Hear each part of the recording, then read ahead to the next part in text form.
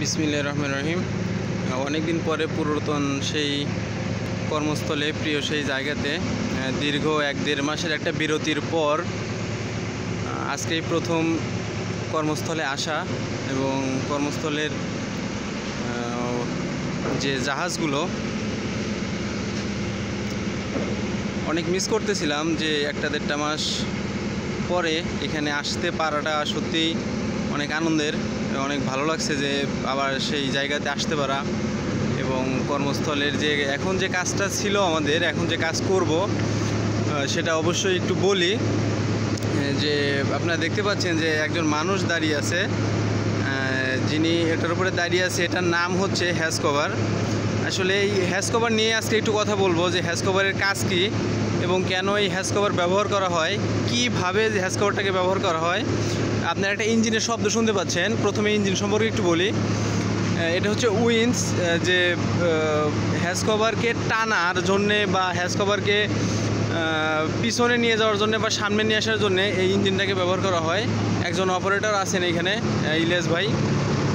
ওনার, উনি এই কাজটা করতেছেন এখন আপাতত আর কি। যে, এই হ্যাজ কভারের আমি আরেকটা যদিও ওটাকে রশির মতো মনে হচ্ছে রশি না আহ, ওটা শিকল তো আমি এটার মাধ্যমেই আর কি হ্যাজ কভারটাকে টানা হবে। এই যে হ্যাজ কভারগুলো দেখা যাচ্ছে এই হ্যাজ কভারটাকে দেওয়ার প্রধান কারণ হচ্ছে বা প্রধান উদ্দেশ্য হচ্ছে যে এই জাহাজের ভিতরে যে মাল থাকে বা জাহাজের ভিতরে যে প্রোডাক্ট থাকে এটা যেন হ্যাজ ফাঁকা হচ্ছে।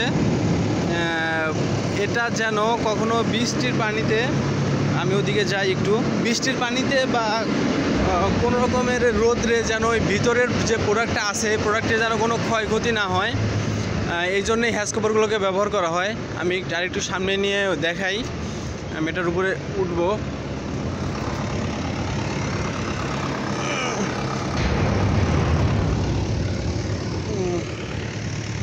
আমি এটার উপরে আসলাম। তো, যে কার্গো হোল্ডের ভিতরে যে প্রোডাক্ট থাকবে বা যে প্রোডাক্ট রাখা হয় হতে পারে সে সার, গম বা আদার্স অনেক কিছুই হতে পারে যে এইটা হচ্ছে কার্গো হোল্ড এই যে ফাঁকা জায়গাটা, এটা হচ্ছে কার্গো হোল্ড এটা হচ্ছে হ্যাজ কভার হ্যাজ কভারের ঢাকনা।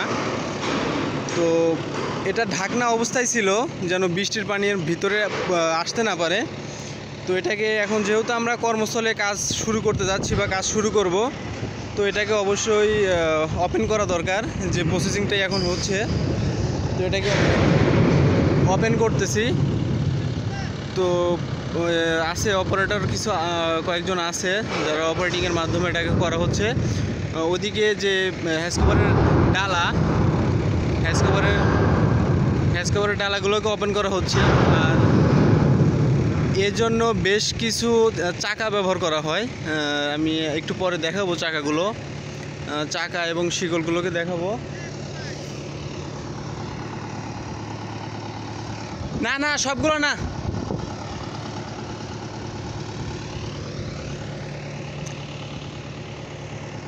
বন্ধ করে দেন, বন্ধ করে দেন।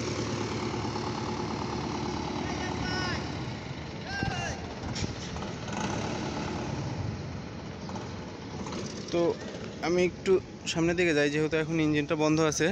কথাটাও ক্লিয়ার আসবে। তো এই যে যে অংশটা দেখা যাচ্ছে যে ড্রেনের মতো এটা আসলে ওই চাকা যেন এদিক ওদিকে যেতে না পারে এবং চাকাটা যেন একদম নিরাপদ থাকে। এই জন্য এই ড্রেনের মতো এটাকে ব্যবহার করা, এটাকে আমি বিট বলে থাকি। এই হচ্ছে চাকা রেলিংয়ের চাকা হেসকমিংয়ের চাকা, যে এটাকে যেন ঘুরতে পারে এবং সহজেই ঘোরানো যায়। এবং এই যে শিকল যেটা দেখা যাচ্ছে চেন শিকল যেটা আছে এটার কাজ হচ্ছে যেটাকে ধরে রাখে এবং এটাকে টানতে সহায়তা করে। একটার পর একটা সিরিয়াল বাই সিরিয়াল যেন থাকতে পারে। এবং এইখানে যে অ্যাঙ্গেলটা আছে, এই যে অ্যাঙ্গেলটা এই অ্যাঙ্গেলটা হচ্ছে এখানে একটা জয়েন্ট আছে, যে এই যদি দেখানো যায় যে এইখানে একটা জয়েন্ট আছে এই জয়েন্টের মাঝের উপরে, মাঝখানের উপরে এই অ্যাঙ্গেলটাকে দেওয়া হয় যেন এই, এইখান দিয়ে যে ফাঁকা জায়গা আছে, এটার ভিতর দিয়ে পানি ভিতরে প্রবেশ করতে না পারে। কারণ যেহেতু এখানে লাখ লাখ টাকা, কোটি টাকার প্রোডাক্ট থাকবে একটু পানি গেলে পারে তার অনেক বেশি ক্ষতি হয়ে যাবে। তো এই জন্যই এটা আর কি। তো এই যে এই ঢাকনাগুলো, এই এই যে সামনের যে ঢাকনাগুলো, এই ঢাকনাগুলো ছিল এখানে। এর উপরে ছিল তিনটা ঢাকনাকে নামানো হয়েছে এবং বাকি এখনও পাঁচ সাতটা ঢাকনা এখনও এর অবস্থায় আছে ঢাকনা দেওয়া অবস্থায় আছে এবং এই যে তখন যে চেইন বললাম যে দড়ির মতো দেখা যাচ্ছে এটা দড়ি না, এটা আসলে গুনার মাধ্যমে তৈরি করা। এটা অনেক, এর থিকনেস প্রায় চল্লিশ এমএম হবে। তো আর এটাকে টানা দেওয়ার জন্য ওই যে ওইখানে সেফটি ফার্স্ট এবং নো স্মোকিংয়ের মাঝখানে যে একটা ইয়ে আছে লক আছে, এই লকের সাথে অ্যাটাচ করা এটাকে রিমুভ করা যায় লক করা এবং রিমুভ করা যায় দেশ trading corporation MBDTC zero five জাহাজ এটা আইএমও নাম্বার দেওয়া আছে এবং সিরিয়াল নাম্বারে ইয়ে দেওয়া আছে।